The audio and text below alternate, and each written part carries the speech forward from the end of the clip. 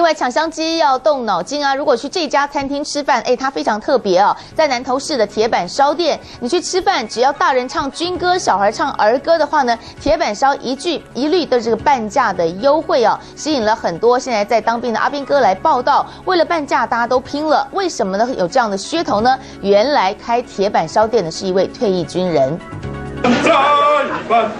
就要好汉再办。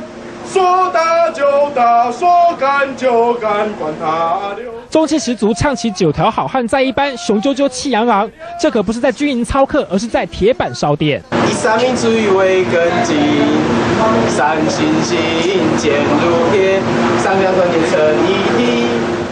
哎呦，这位老兄你也太害羞了吧！这些身穿军服的阿兵哥手拿一个大碗，立正站好，唱军歌的对象不是班长，却是老板娘。有通过吗？有有通过，优待半价。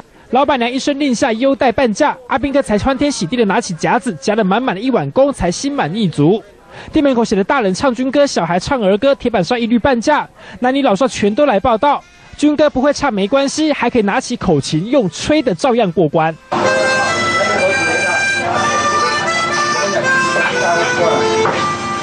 原来铁板烧店的老板是职业军人退伍，很怀念军旅生活，才会有这样子的 idea。也蛮怀念在军中里面的一些同袍啊，啊，为了回馈回馈军中哦那些同袍，所以说我就活动。创意点子半价优待，挤满了一堆民众前来尝鲜。曾是军人的老板看到同袍大声唱出军歌，也仿佛回到了军营一样，让他好怀念啊！中央新闻周大祥南投报道。